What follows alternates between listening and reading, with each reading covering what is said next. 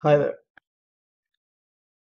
So I've been making or trying to make YouTube videos for close to a decade with no success because I don't do it often. Um, so let's start something small, an unboxing. Today I have with me the CanaKit Raspberry Pi 4, 4 gig model, and let's uh, let's get to it.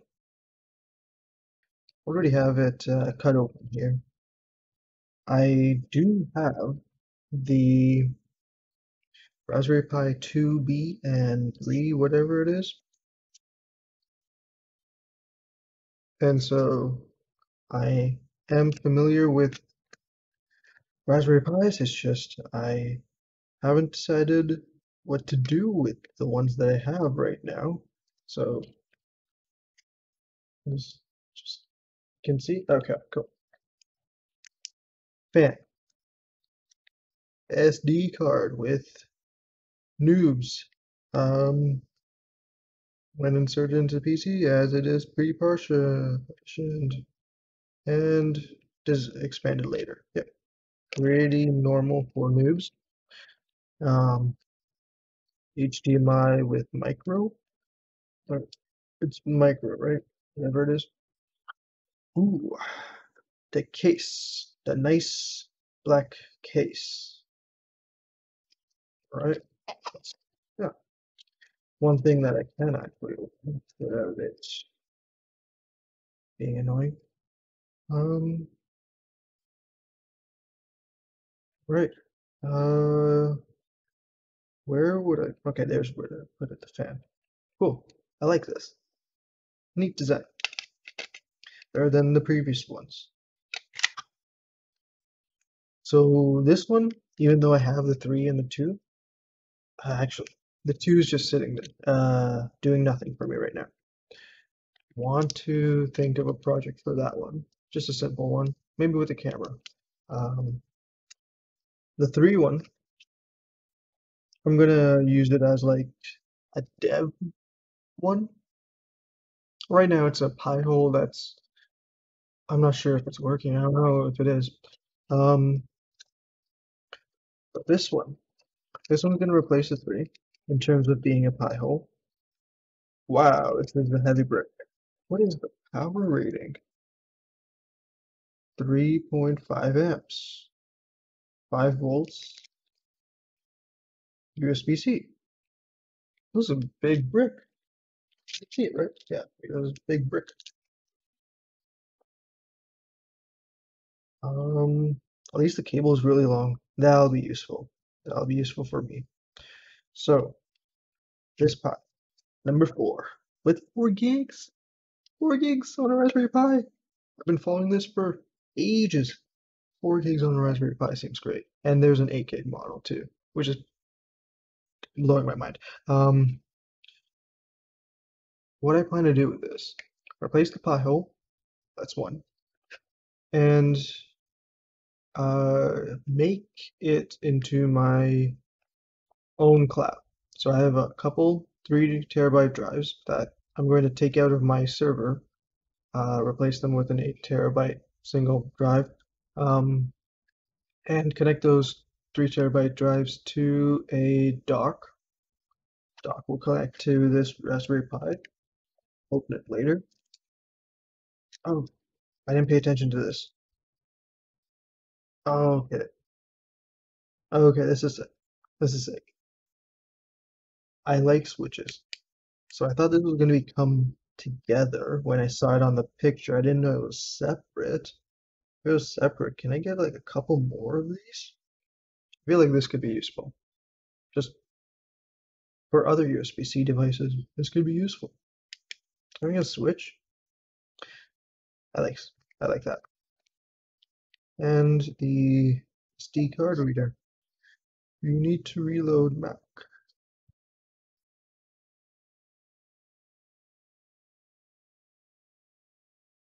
Okay, cool. Lots of warnings. Like CanaKit really takes care of you hand holds you a lot. And what does this do? Yep. Yep. So, so this is nice. Like big, big uh, writing over here for everything. Uh, but here, everything's just the numbers itself, which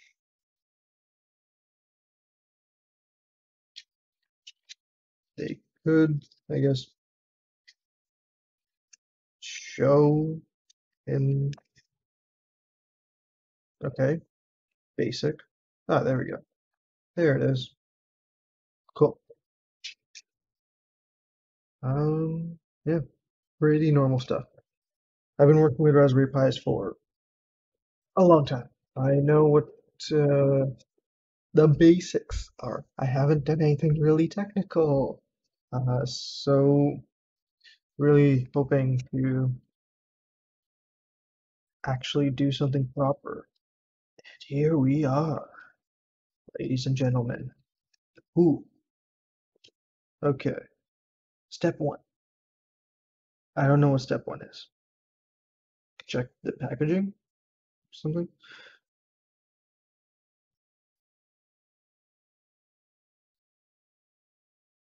Just how to keep it?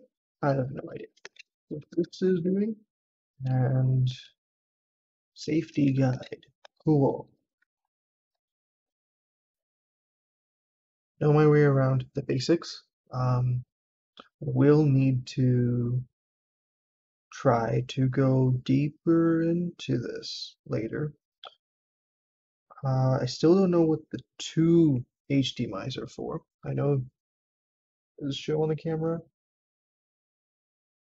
Yeah, there we go. There we go. And then and the pins.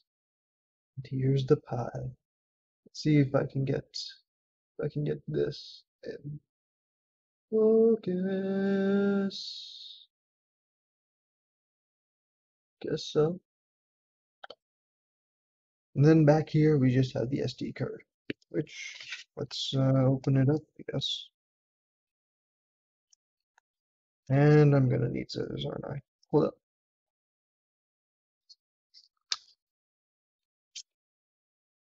There we go.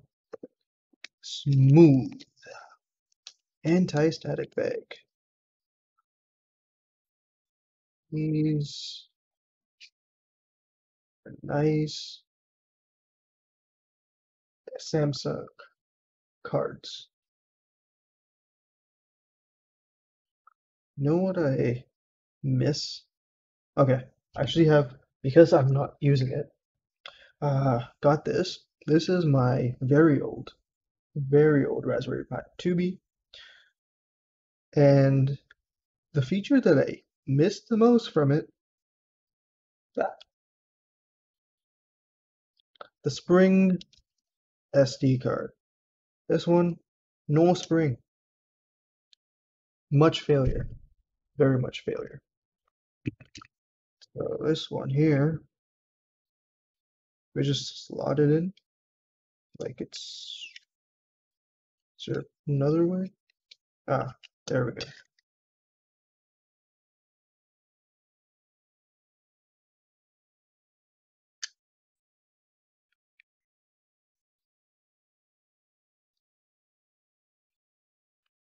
Is this how it goes? I have it all right. Underneath. Okay. Okay, so that's how you do it. Underneath first here, and then the front, not the front underneath first. Then slide this on, other side.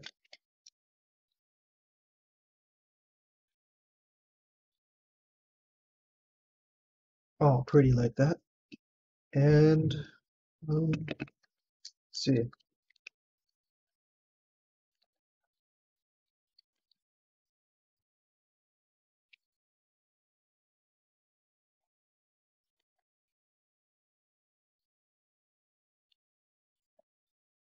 I don't know why I'm being careful with the plastic. Probably never going to use it again. Now, push the air. What do I want? What do I want? Yeah, let's do pushing. Hmm. Which way will the pins go? Uh, good. Go. And I'll just connect them to, I'm thinking,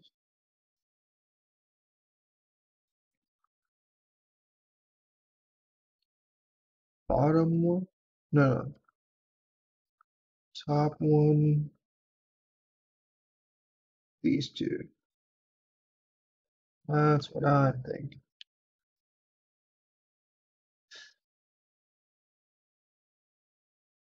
Yeah, ground and power makes sense. These ones. Where? Oh, there's three. Okay, so take this apart, I guess, again. Thankfully, it's a lot easier than my 3D printed one, which a friend did for me.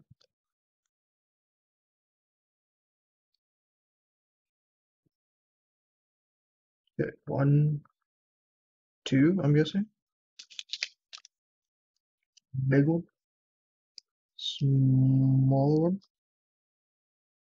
Uh, and the three, there was something on the back. Not this time. So instead of this, guessing that's the Wi-Fi. So this and this. I'm guessing. Big one, vertically one, and this one. This one would be the Wi-Fi Bluetooth. What is this one actually?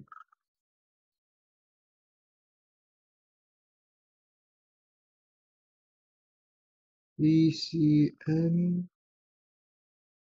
That might be the smaller one instead of the VLI. Hmm. Would they have? No, I doubt it. Quick start guide. Would they have included in the quick start guide?